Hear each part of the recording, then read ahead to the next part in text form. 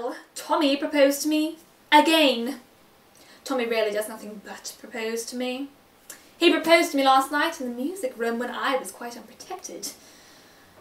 Then he proposed to me in broad daylight this morning in front of that dreadful statue of Achilles. Really, the things that go on in front of that work of art are quite appalling. The police should interfere. I saw by the glare in his eye that he was going to propose again, and I just managed to check him in time by assuring him that I was a bimetallist. Fortunately, I don't know what bimetallism means, and I don't believe anyone else does either, but the observation crushed Tommy for ten minutes.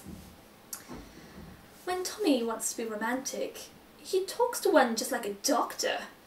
I wish, Gertrude, you would speak to him and tell him that week often enough to propose to anyone and that it should always be done in a manner that attracts some attention.